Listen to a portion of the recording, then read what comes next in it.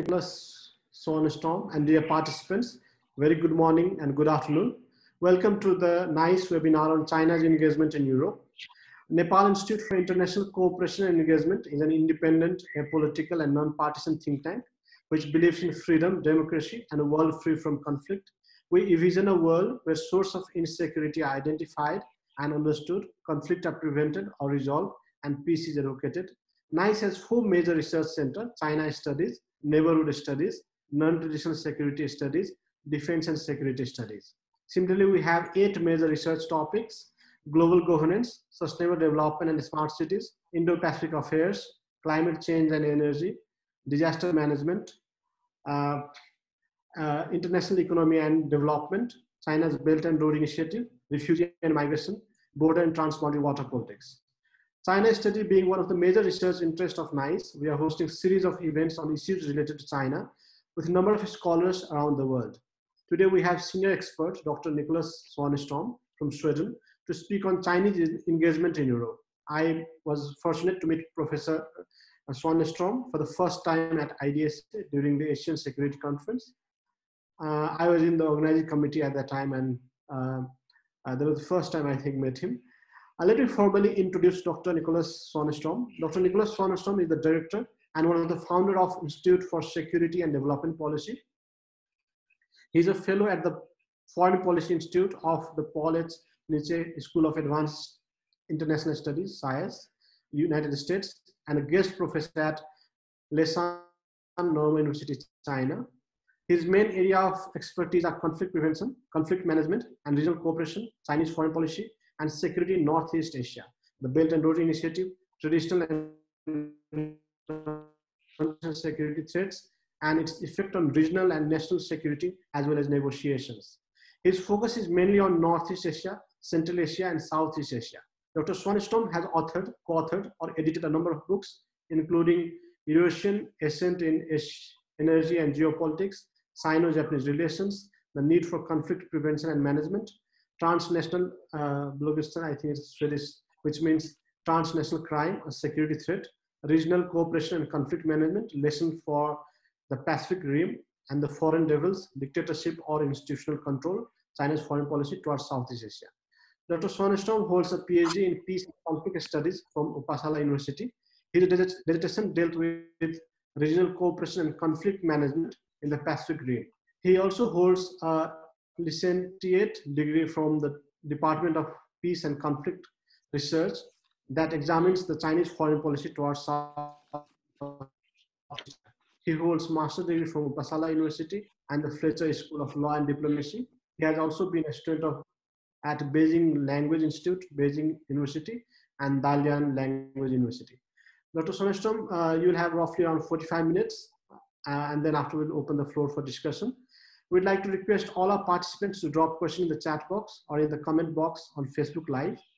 Uh, Professor Swanström, the floor is yours. Thank you very much. Um, and uh, it's, a, it's, a, pleasure being here. And thank you, uh, Pramod, for inviting me. Uh, it's a pity I can't actually be in Kathmandu. Um, I actually spent quite a lot of, I visited uh, Nepal uh, some 20 times in the uh, during the um, unrest when we had a, uh, during the the, the Maoist uh, uh, rebellion, and uh, it was actually I've been extremely happy to to go back, but unfortunately I haven't been in Nepal for at least six years, I think now.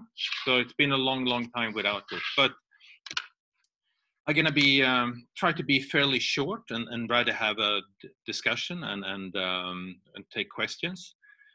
Uh, ISDP, which I head, is a non-governmental organization, uh, independent, and as uh, uh Professor Yashwal uh, was saying, is that um, uh, we've been focusing a lot on Northeast Asia, South Asia, Southeast Asia, but primarily China, and of course China and Europe becomes an important uh, factor for us. And of course, the, uh, when it comes to Europe and China, uh, I think it's the relationship is changing. Um, we've been talking a lot on if China is positive for Europe and if the engagement will continue. And um, the MERICS Institute in Germany did a study, um, and they came out to the fact that we might actually be entering a situation where we talk about hot econom- economics, uh, sort of engagement in economics, but much more cold relation when it comes to politics. And 60% of all the respondents to the survey would claim that the political climate will worsen between China and Europe. Um, and then the majority thinks the economic climate will remain stable. Uh, very few actually thinks neither would the, the political or economic will improve. But of course, this is it's not an easy question to answer because China is an important actor for for Europe. Uh, we do have uh, uh, a certain trade dependency on each other, uh, but also, of course, the, the political side and the security side and all that creates tension. And then there's also divide within Europe, um, where we have Eastern Europe, what is uh, and what is termed 17 plus one, has a more positive picture of China, whereas Northern Europe and Western Europe might have a more critical view of China. So when we talk about Europe, I think it's important to understand that Europe is very divided. There's no easy answer. And I'll get back to that, but I think that maybe the biggest weakness uh, in Europe's China policy is not really anything to do with China. It's really about what Europeans have failed to do. But I think the, the biggest challenge we're facing is the, the normative differences.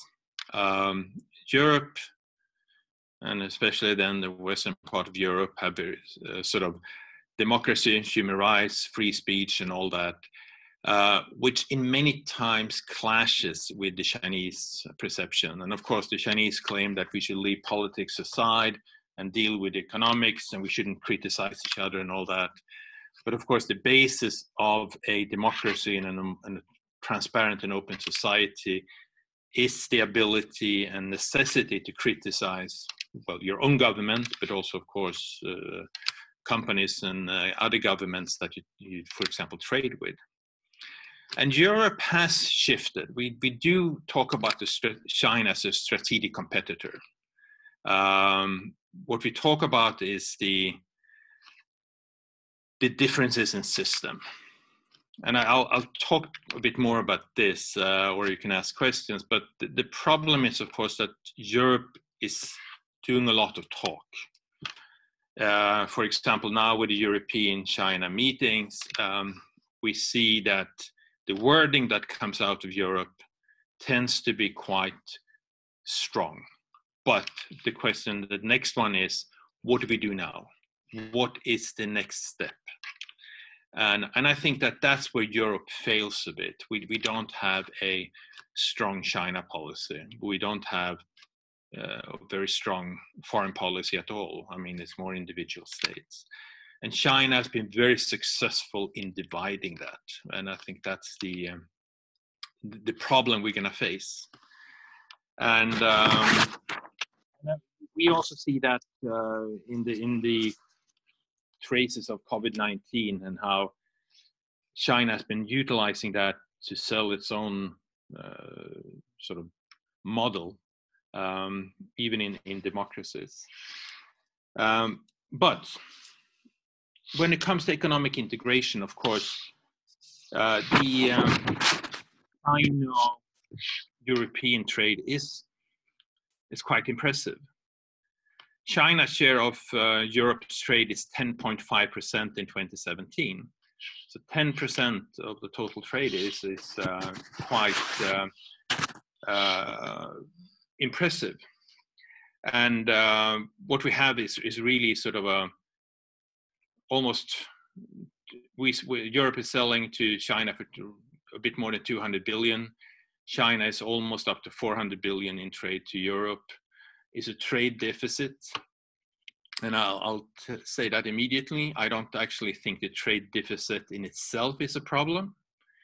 Uh, if China is managing to trade uh, and sell to Europe, and we buy more from them than we buy from uh, they buy from us. That's fair. The problem, of course, is really the equal access, a level playing field, and I'll, I'll get back to that. But the actual uh, difference in, in trade, I, I, don't think should be a problem.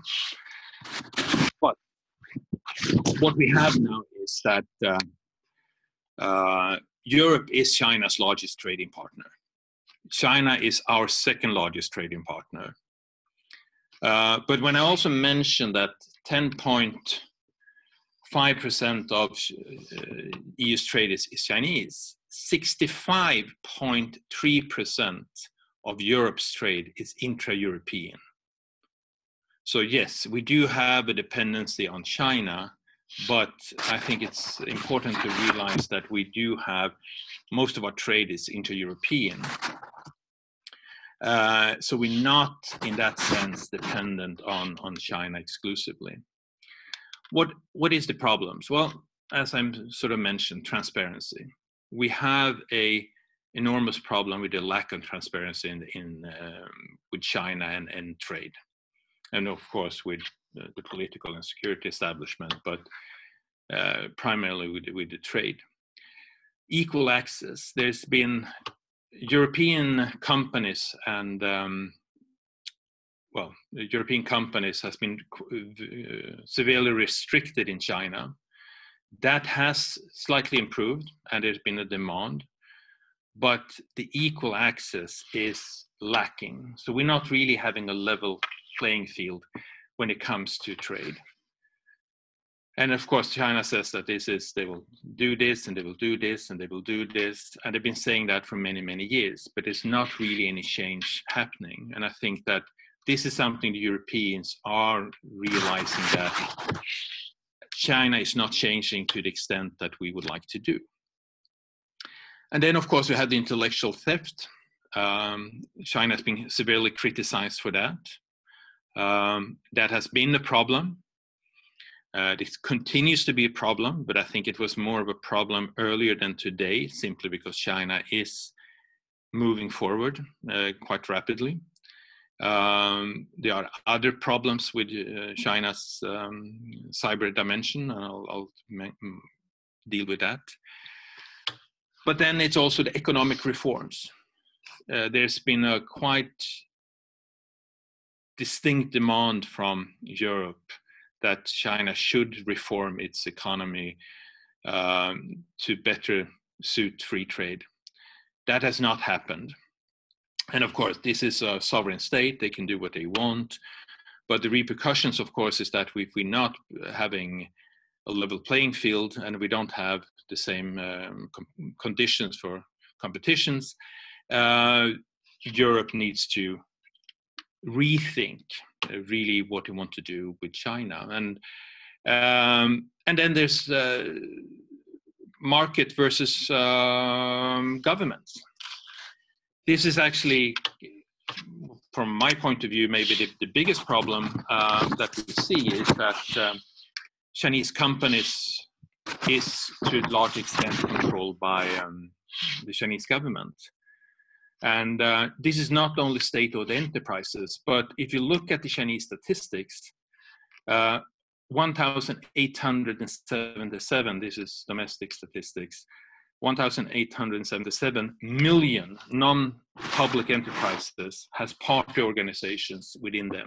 That's 73.1% of all non-public en- uh, enterprises and this is under document number 11 on uh, strategy and uh, uh, improving uh, building in the non-public and, and,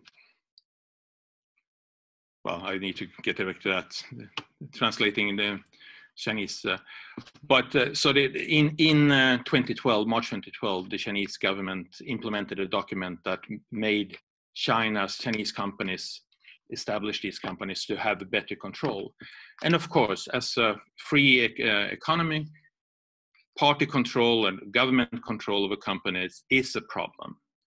And I think this is something that uh, will have to change. And of course, this is also, if you you have companies controlled by governments and they invest in critical infrastructure, that will be a problem. And then, of course, we come into the Huawei problem um, with 5G. Uh, should you allow governments to control critical infrastructure in your countries?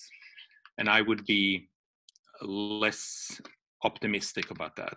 So we see a lot of challenges that that comes in, and I, I think that um, the changes that we see in China is is hardly enough to level that playing field.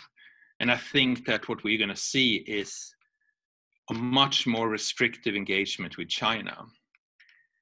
And this is actually something important to look at because uh, what, what are we, what's going to happen in the future? Already now, we do see a lack or a decrease of um, Chinese foreign direct investments in Europe. And from 2016, um, there's been a drop, partly because China is controlling their own assets more clearly. They want to make sure that they invest in, in domestic companies and, and reinvest it in China, which is understandable. We're facing a economic uh, downturn, not least after COVID-19. But it also more major control mechanisms from Europe. Europe has lifted the challenge of being dominated or controlled by Chinese capital. So there's there are restrictions coming in that would severely limit Chinese foreign direct investments in, in Europe. And um, which is not necessarily a, a bad thing. Uh, when we're looking at this, and I, we're also looking at most of the investments in, uh, in Europe is really acquisitions, where the Chinese companies buy already established companies and then very little comes in in so-called greenfield investments where they're starting up new companies which from from my point of view of course is a clear indication that they're buying up technology they're buying up market access um, and those investments are a bit problematic we when we talk about 17 plus 1 and we talk about economic uh, investments there's a lot of discussion about that China is taking over Eastern Europe. Um, there's um, there's a discussion that the Chinese investments in Eastern Europe uh, is of critical importance and all that. The reality, of course, is very different, and I think that um, this is part of this sort of exaggeration problems. Uh, the foreign direct investment in Europe is only 1.5% of Chinese investment in EU in 2018. Uh, Southern Europe, Italy, Spain, Portugal is 13%. The bulk of investments goes into Northern Europe, Germany, UK, Sweden, France, and this is sort of modern technology. And uh, so there's, there's a not only the drop in investments uh, from China, but the investments we see is primarily targeting uh, a few relatively developed economies, as I said, Germany, Sweden, uh, etc. Uh, so I think the, the situation looks a bit different, but I belong to the people who's more skeptical, and I think that trade probably run into a number of major challenges. Huawei, of course, being one of these issues we need to look at. Uh, and very much to the uh, for the reason of transparency and state control. But outside of um, economy, and economy will be complicated. Um, is China and, and Europe on the same field? Do we do we play the same game? Well, I mean, there, there's a lot of clashes between Europe and China. When we talk about human rights, for example, talk about Tibet, uh, which of course you know better than anyone as a neighboring region, Xinjiang, rule of law, Hong Kong, Taiwan, all of those issues comes up. And these are very important issues for Europe, and uh, especially then for uh, Northern and Western Europe. And here we do clash significantly with China. And Europe, European Parliament put up a resolution now who calls for the support and formation of international contact group in Hong Kong, calls for the insertion of the human rights clause in any EU-China trade talks, support for the, the creation of a UN special envoy for Hong Kong. So that's one example of when Europe is taking a very tough position on what is, of course, internal issues of China, but with, with in, uh, international repercussions. And I think that's good. I think Europe should take that position. The problem is what happens after they written this, when they said this, how do they follow up? And I think that uh, Europe is tremendously weak in a lot of its um, actions not necessarily the wording might be correct and all well and fine, but the actual implementation will be more problematic. One thing we do agree on is WTO reforms. Uh, EU and China both strongly support WTO. Um, EU wants to work closer with uh, China on WTO, and um, including, for example, strengthening industrial subsidies uh, reform and etc. So here we do have an example of uh, where we do agree, and the same with climate change. China now has 28% of the global greenhouse gas emissions. It's become a crucial partner in the Paris Agreement for Europe. And I think these are areas we do find a, um, a cooperation. So, I mean, this is not black or white. China is a actor that is going to create a lot of um, stir a lot of feelings. But the solution is not to disengage with China or fully engage with China. The, the whole thing is to get a balance that works really well. So when you talk about that, I mean, the and, and that's part of the normative uh, pieces.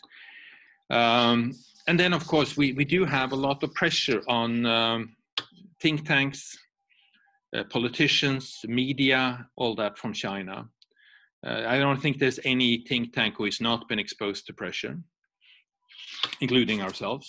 Um, and, and, that's part of that sort of um, uh, part of the problem, because not only will it trigger more anti-Chinese feelings, um, or anti-PRC feelings, I should say. Uh, but it would also force the governments to take a tougher uh, position regarding China. One thing that Europe is not very good at is uh, defense cooperation. We do have uh, PESCO, the Permanent um, Structured Cooperation, and I'm actually uh, relying here on a scholar from RAND, Scott, uh, Scott Harold. Uh, what we have is the beginning of a intra-European cooperation. And of course, China is really concerned if the PESCO structure will cooperate with NATO.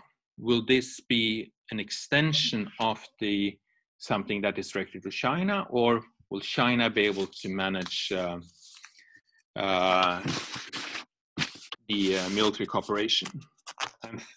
China has had military exercises with Russia in the Baltic Sea, which is, of course, as a Swede, extremely problematic. And of course, needless to say, for the, the Baltic states. Um, but the security cooperation in Europe is still in in early stages.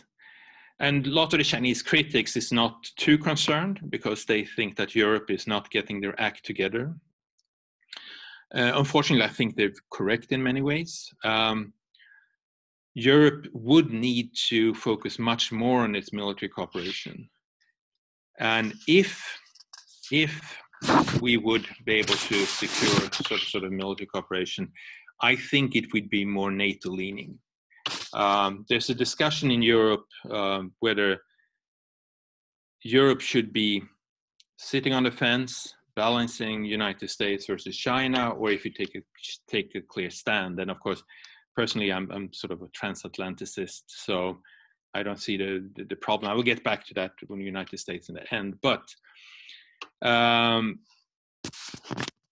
when it comes to military cooperation, I don't really see much um, substance. It's like the Quad. It looks very nice, but um, getting India, Australia, Japan, United States to collaborate is is a different cup of tea than just having the, the, the formal agreements.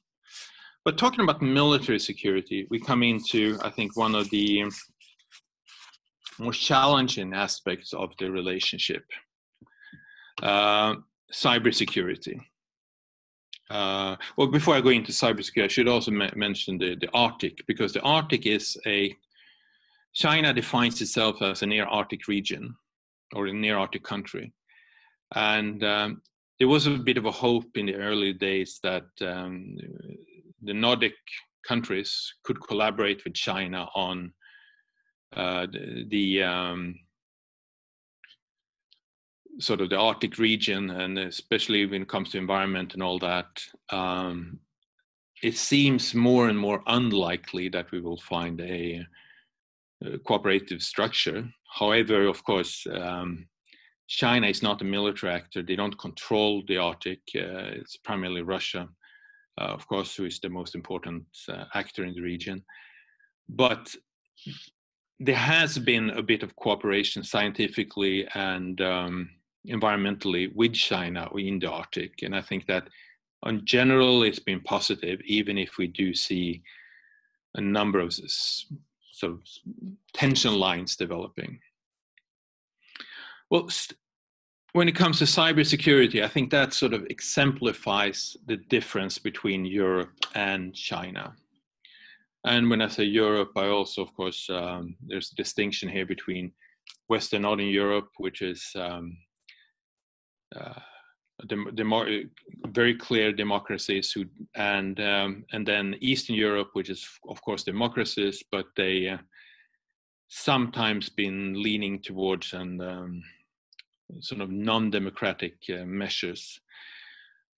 In the European context, the individual is in the prime position. When we talk about security of the uh, cyber security, we talk about security for the individual. How do we guarantee security for the individual? How do we minimize government control over information and access to individuals? And on the Chinese side, it's very much different. How does the government control individuals? Um, so for me, that sort of exemplifies, in, in essence, the relationship between Europe and China government versus individual. Um, and what we've seen is a tremendous rise of Chinese cyber operations in, um, in Europe. And I'm absolutely convinced we've seen operations in China by, by the Americans, by the Europeans, and all that. But um, it's been to the extent that it's been a problem uh, that computers like my own is more and more of sort of open access uh, computers right now. And that sort of pressure has been been increasing. And um, we see that chinese organizations has been much more um, active in pressuring uh, politicians media,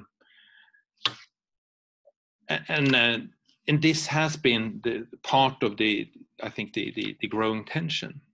But aggressiveness is actually quite striking, and here, of course, there are scholars um, who sees a greater cooperation between Russia and China in Europe when it comes to cyber operations.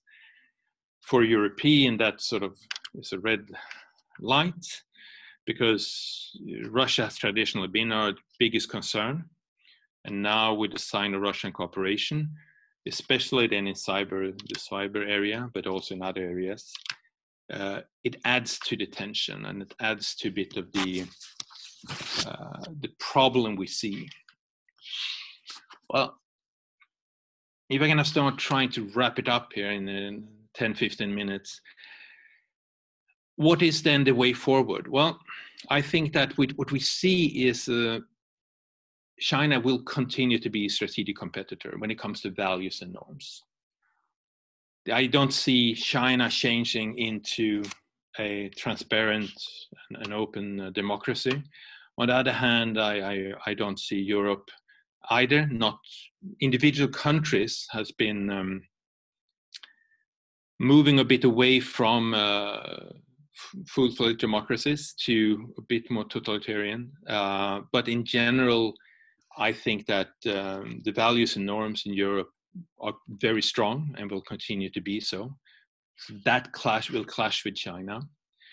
Um, EU though needs to get its act together. EU is the weakest in this link. I, I can't even blame China for wanting to influence governments. They wanted to influence to buy up com- uh, key companies. What I can blame is really that Europe is not doing what they should to prevent that. But Europe is is getting needs to get its act together.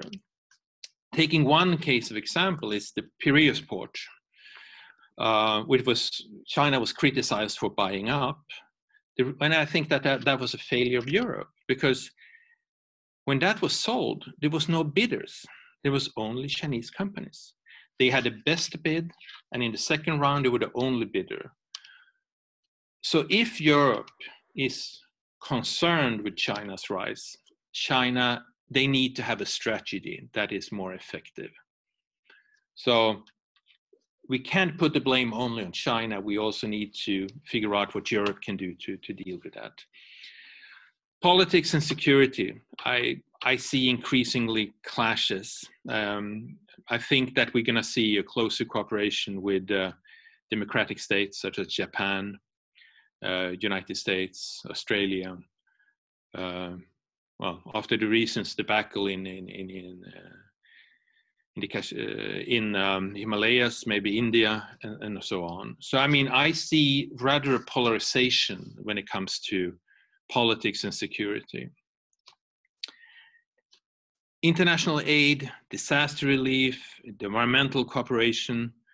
I see China as a as, as a partner I think these are areas that we can actually build some sort of cooperation.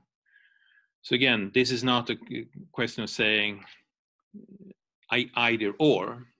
Talk people talk about delinking from China, and it's uh, it's impossible to delink from any large economy into in this in this world.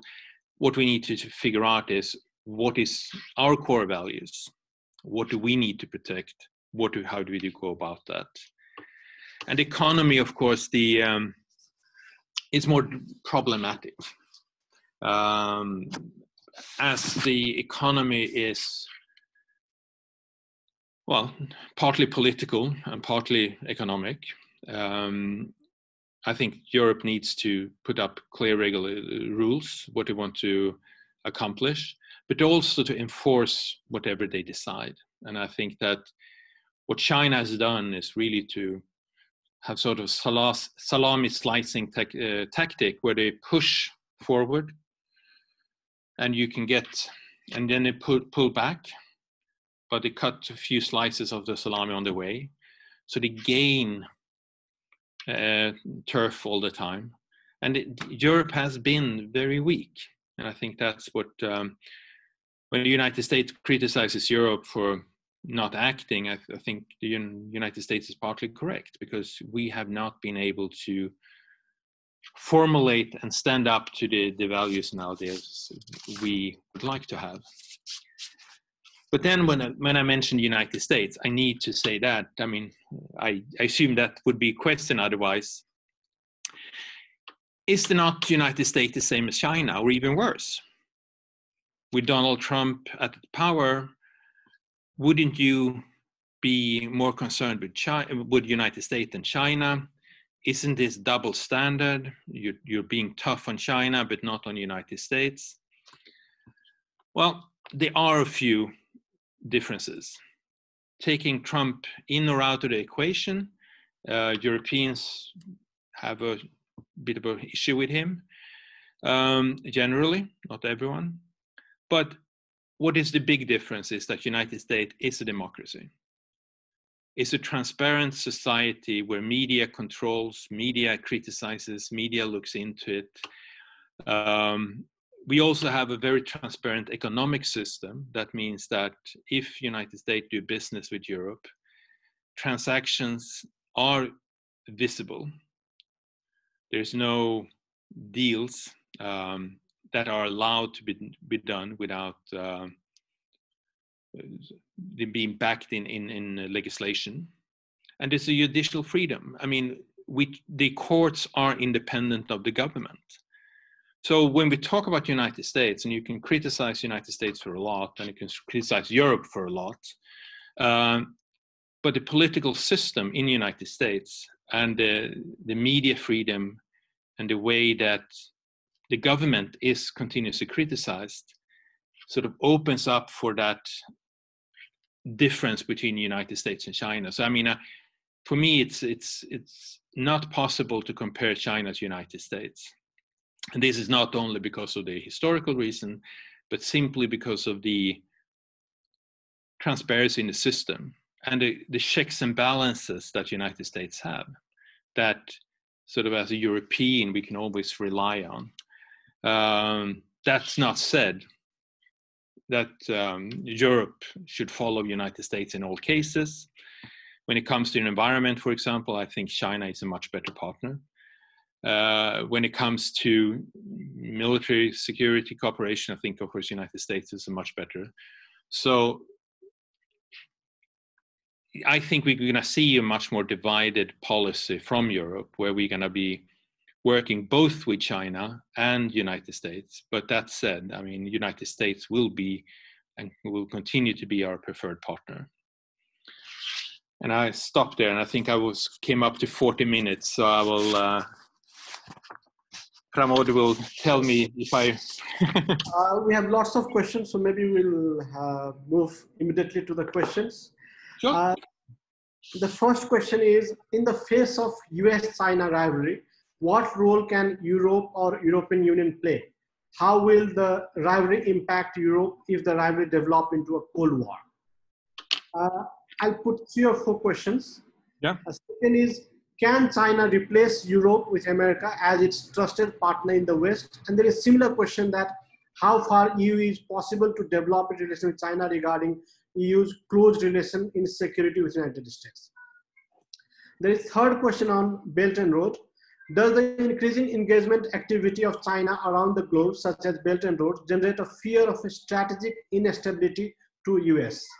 How far is it possible for EU to develop its relation with China regarding EU, European Union close relations in security with the United States?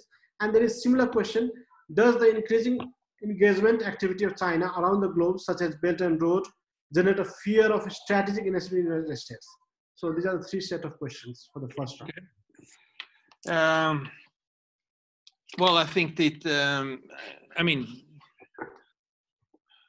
what can Europe do in, in, a, in a, if the rivalry between the United States and uh, China? First of all, I don't think there's going to be direct military war between them. There might be skirmishes, there might be clashes in the South China Sea, for example. There might be proxy wars but I, I, I think that both actors will refrain from having a military conflict. But what can Europe do? Well, Europe can actually uh, is interested in having a more long-term economic cooperation. In one way, Europe could actually use this to put pressure both on United States and China. United States to engage more multilaterally, to deal with the environmental issues that we are extremely concerned about, uh, but also maybe to force China to, to make the real changes that it needs to be done.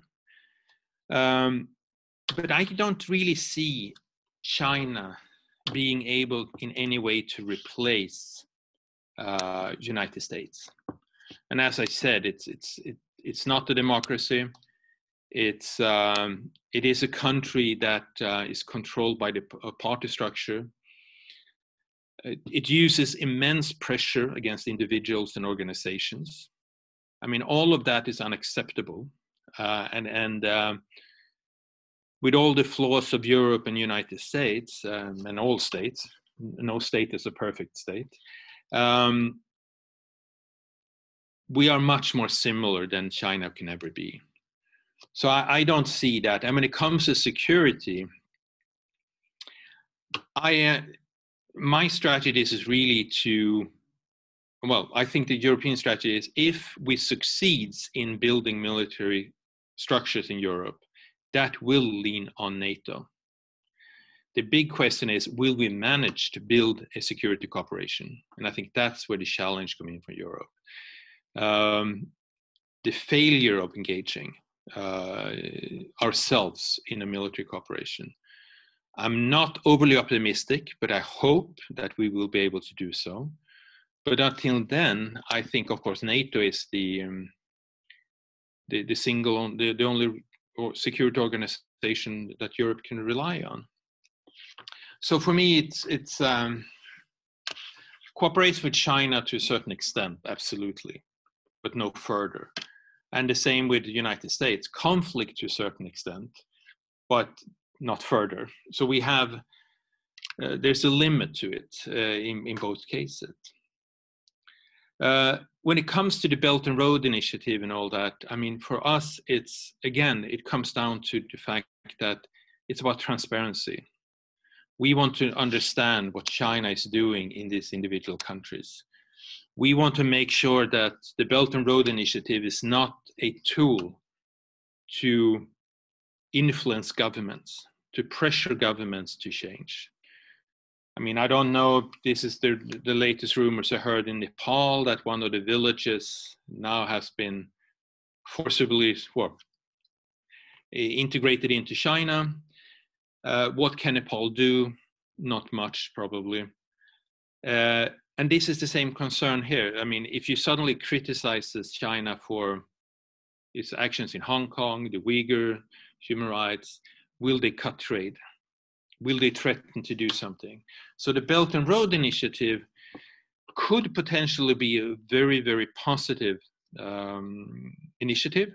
And I, I think that trade is a, um, it doesn't automatically lead to peace, but at least it doesn't hurt it.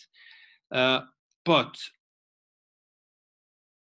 if it's controlled by government, it is a government agenda that runs it, it's much more problematic.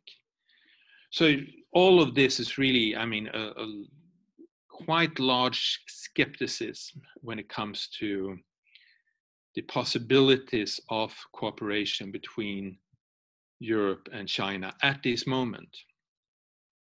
China has been becoming much more assertive and, and what we would see, say aggressive.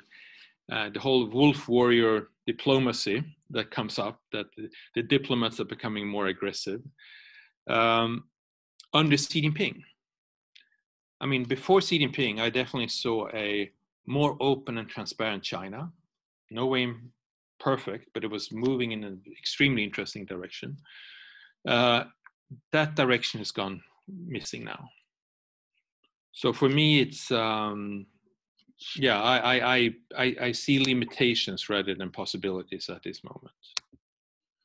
I hope i answered all three questions there. Did i miss anyone? No no it's uh, covered. Let me go to the second round of questions. How will eu china relations transform in a post pandemic scenario with the tarnishing image of china in the world order? Second is many countries are boycotting huawei for their 5g program. How is Europe reacting to it? Is there US-China rivalry on this issue? Uh, what is the European public view on China's Uyghur issue? Well, um, well, EU China and a sort of post pandemics. Um, it, it, was it, it is interesting because the pandemics put um, some interesting focus on Chinese diplomacy. Um, when the pandemic started in uh, Wuhan, Europe sent a lot of aid. Nothing was made very public. It was, you know, China suffered. We, as a good citizen, uh, world citizen, should provide assistance. Now, when China um, came in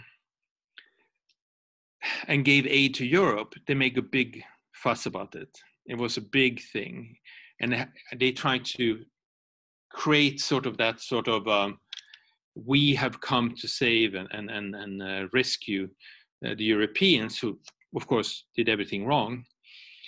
Uh, so they're trying to politicize the pandemic, and of course, Chinese criticizes the, the West for politicizing the pandemic. Pandemic. I think what's going to happen after the pandemic is a realization that China is politicizing mostly everything. And there's going to be a more careful positioning when it comes to critical products, uh, such as we had masks, and we had you know all of this that China did provide us, they did assist us.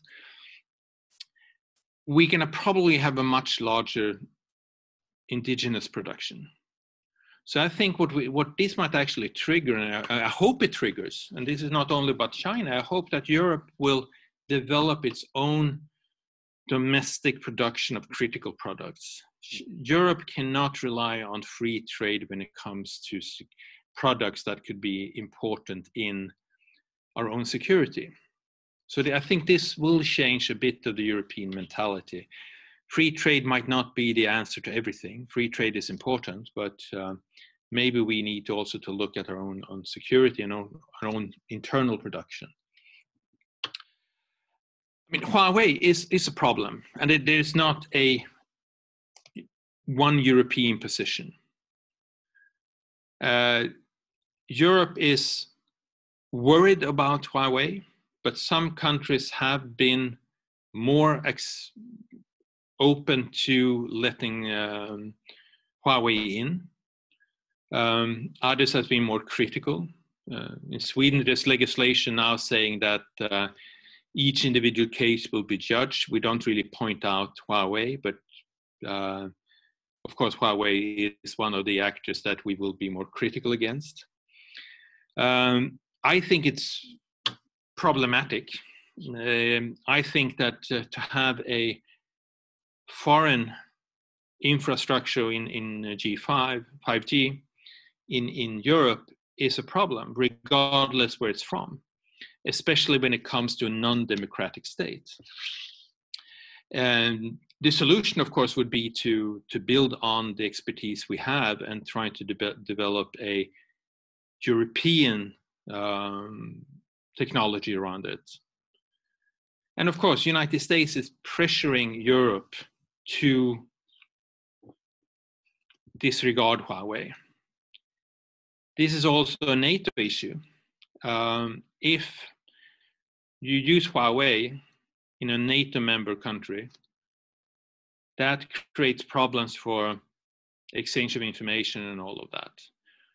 So for me, it's uh, it is a problem uh, that I think we're going to have a very European solution to. We're going to be very tough, and then we're going to allow Huawei to a certain extent. They're going to be allowed into the system, but not the critical infrastructure. The problem, of course, with with uh, 5G is that every aspect of the system is critical. Um, so for me, I, I see a, a, problem with this. And again, this is not necessarily only about Huawei. This is uh, all external companies uh, overall. The Uyghur issue is a disgrace. Um, I think that Europe has not really reacted very strongly on it. Um, what we see is um, that China has been treating its own citizens extremely harsh. We see uh, re-education camps and all that, um, but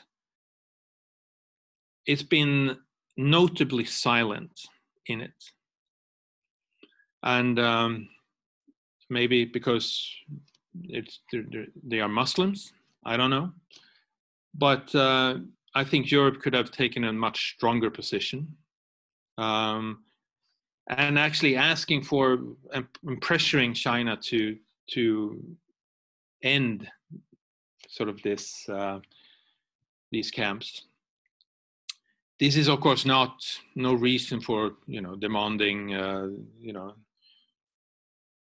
a free free country for the for the for the Uyghurs or anything like that. But it's it's about making sure that human rights are fulfilled, and that impacts trade.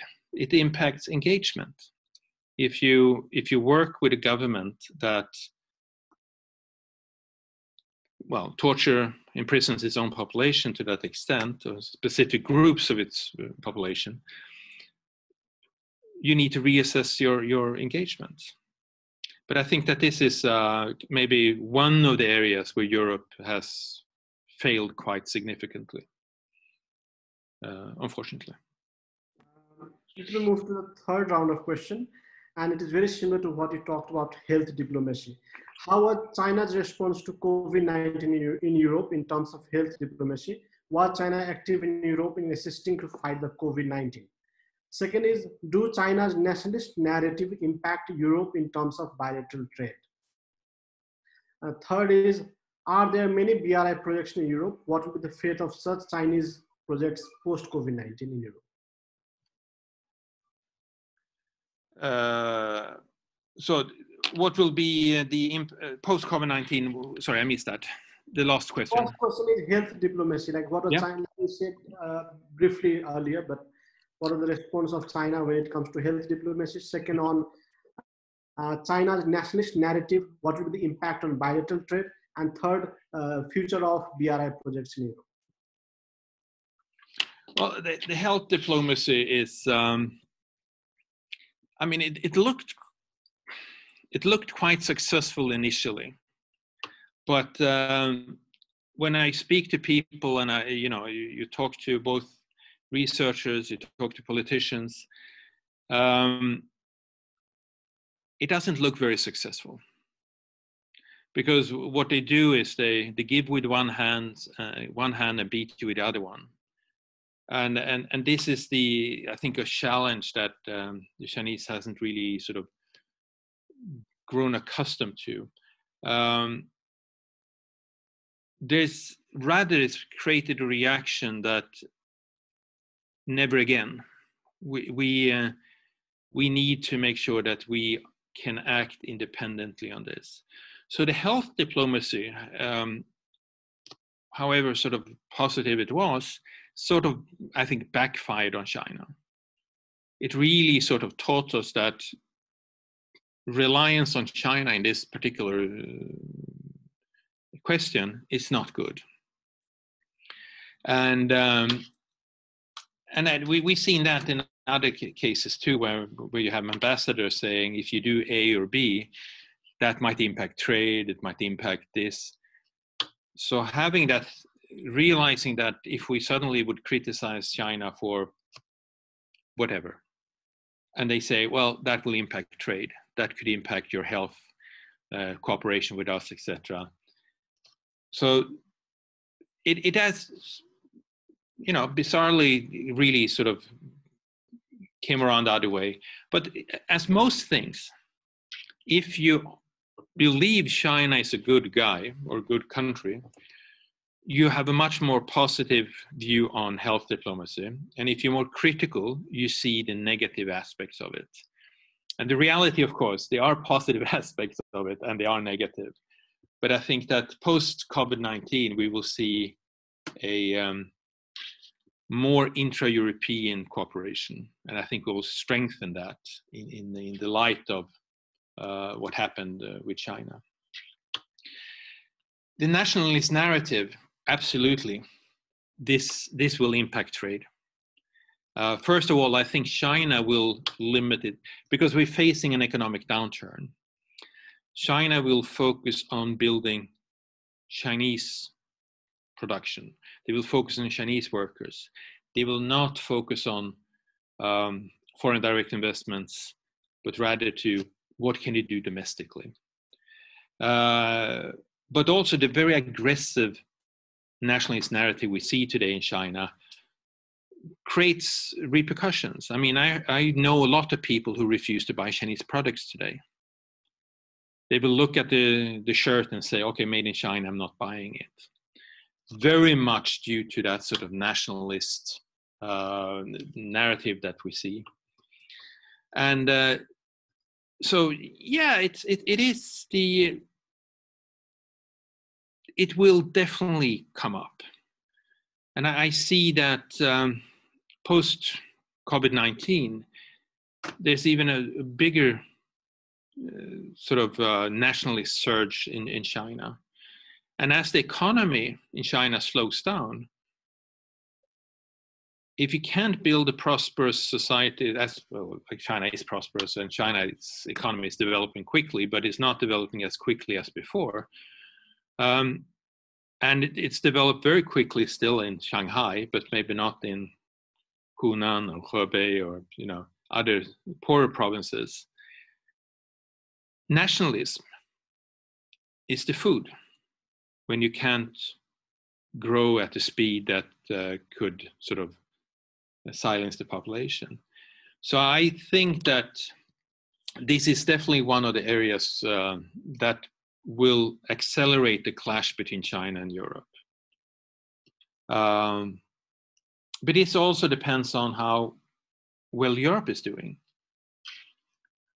I think we, if the European economy is going really bad, uh, there might be countries that are that deem themselves to be dependent on Chinese investments and Chinese trade.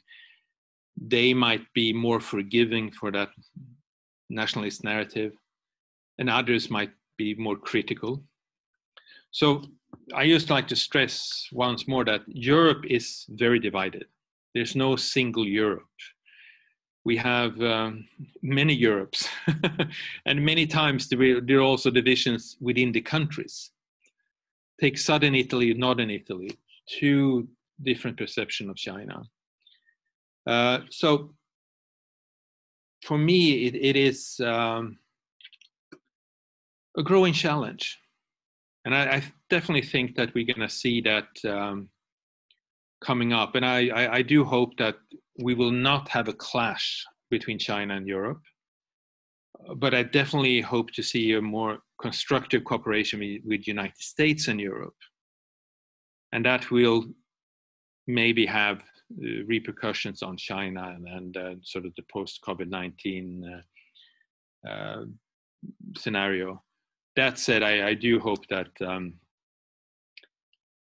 I can only wish that American president was more predictable. It's very difficult to collaborate with the United States with a president that um, you never know how they're going to act. So I uh, I don't envy my European co- colleagues and par- uh, politicians because yeah, working with Trump cannot be an easy task. Okay, let's go to uh, the third round. How is China using the media in Europe, especially in Central and Europe, Eastern Europe, as part of China's global PR strategy? How would you see Nepal between India and China? Is it still a buffer state, or do you see a different picture? How could you relate the potential benefit to Nepal from Chinese involvement in Europe? Third is can China take advantage of the currently strained transatlantic relations? Um,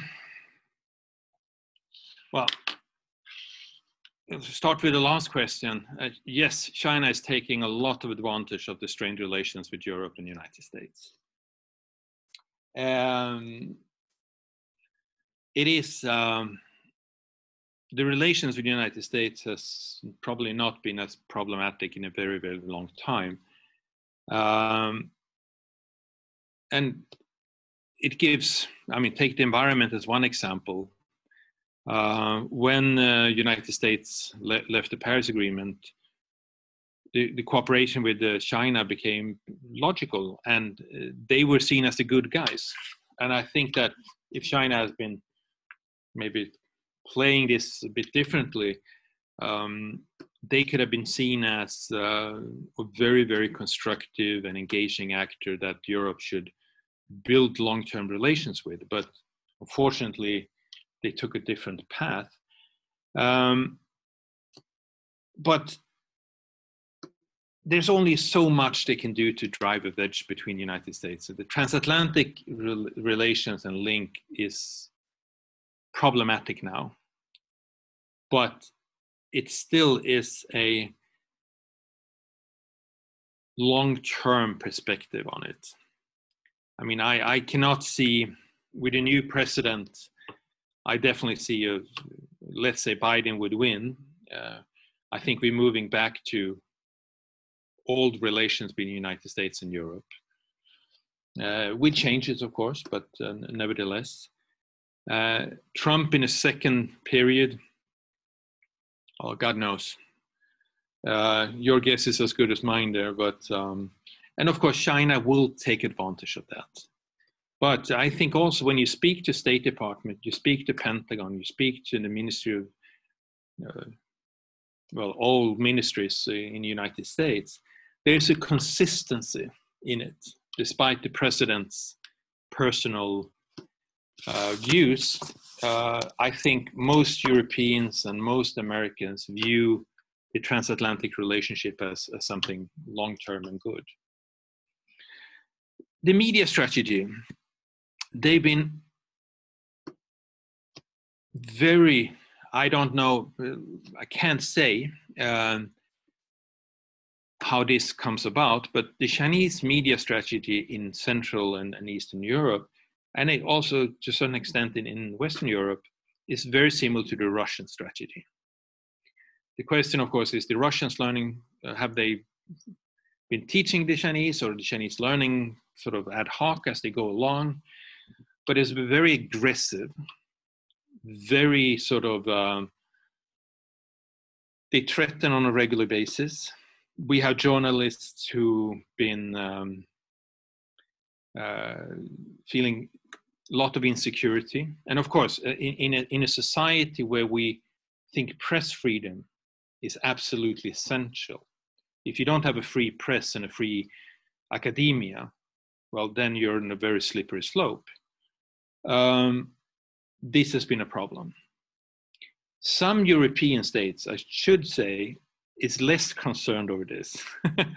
there are some European states that might be more inclined of limiting the, the, the free press and free speech, uh, unfortunately. But that's, I think, is an inter-European problem that we need to deal with. But overall, initially, the Chinese strategy was quite successful, but now it's been backlashing because now there's been more of a coordinated uh, take on Chinese pressure on media and, and, and non-governmental institutions. So once you can trace a pattern, that actually is sort of negative. Nepal, I mean, I should ask you almost. uh, for me, Nepal has a very problematic position. I mean, in one way, it could be a very positive environment, um, being sandwiched between two of the greatest powers in the world, and definitely two the two largest uh, in population.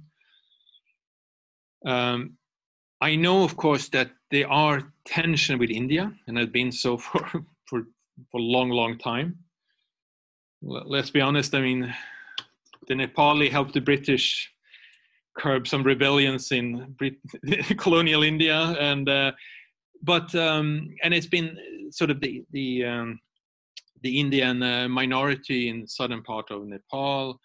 There, there's of course a very problematic relationship here, and, and then we have China in the northern part who is now annexing territory and, and, and being uh, so I think Nepal has ended up between a rock and a hard place.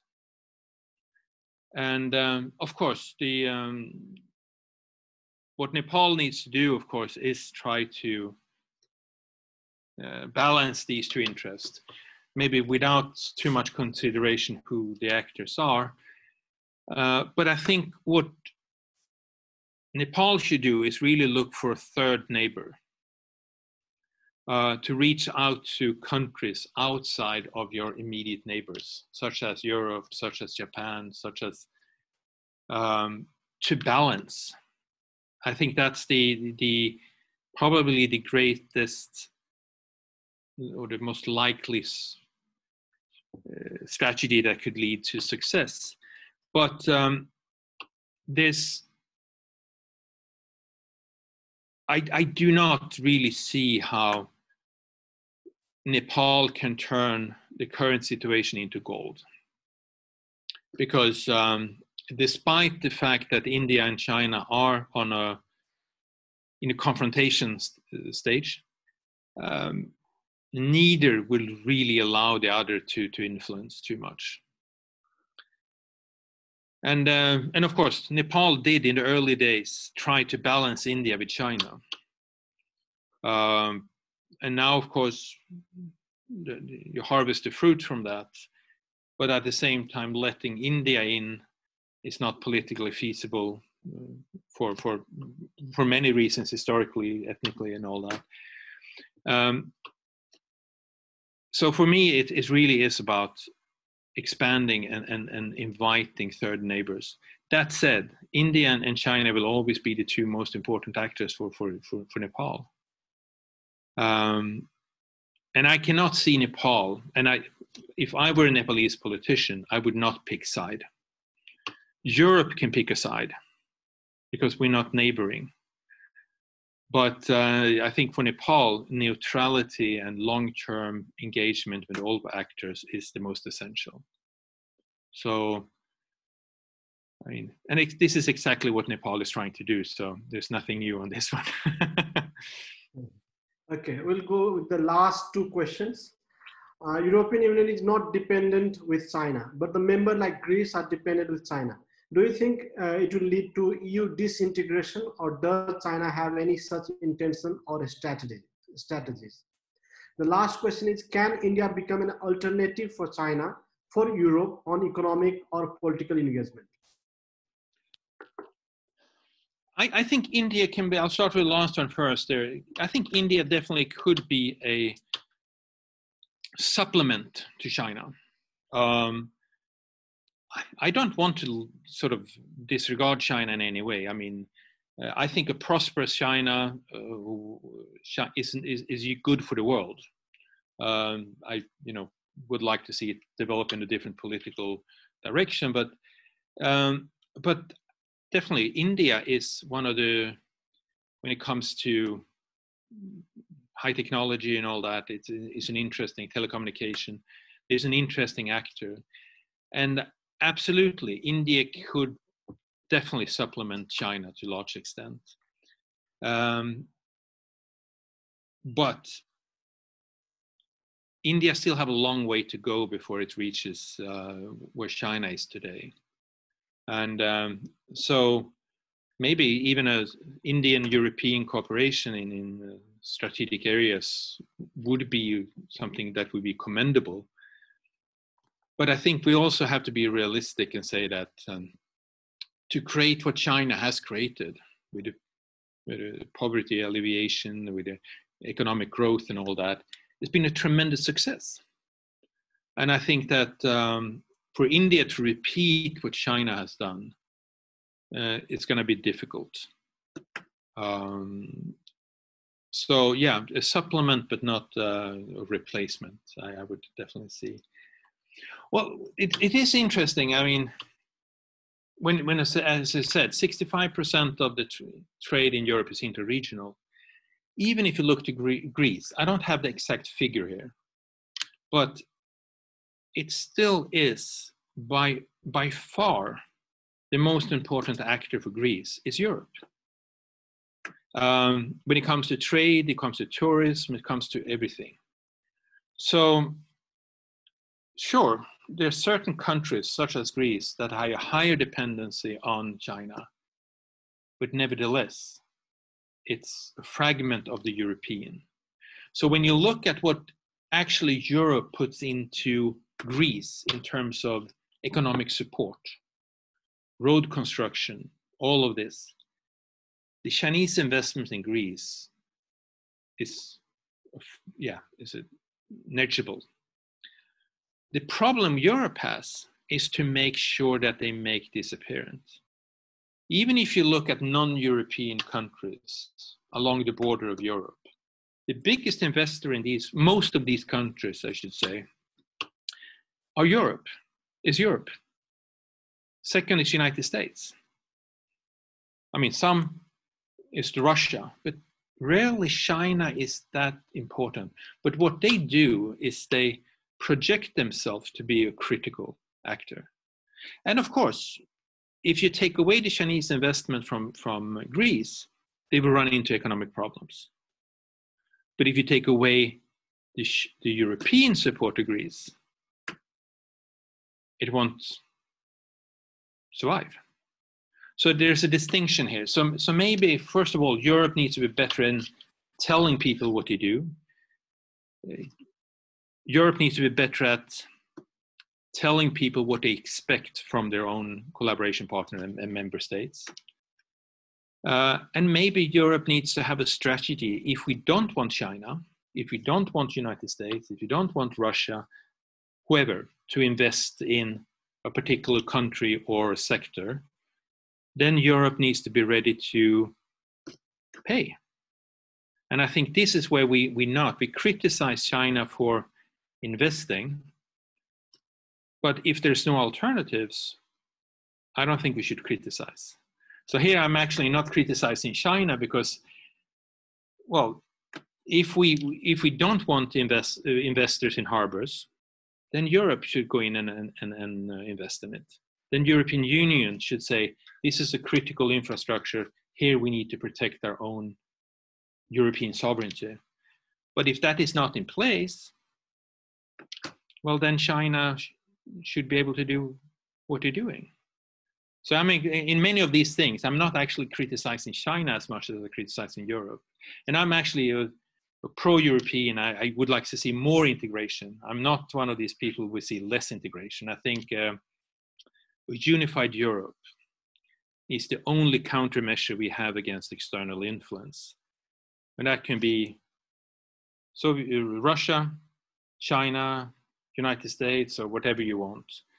Individually, European eco- economies are small, but brought together, we're the largest economy in the world. So, I mean, I think the, the integration is, is, uh, is more important than anything else. Uh, thank you, Dr. Swanström, for your time and interesting presentation. It was really a great learning experience about China's engagement in Europe. We'd love to engage in the future on issues of mutual interest and hope to see you in real in Nepal or in New Delhi very soon. Uh, thank you for your time. We'd also like to thank our participants for their presence. Thank you, everyone. Have a nice day.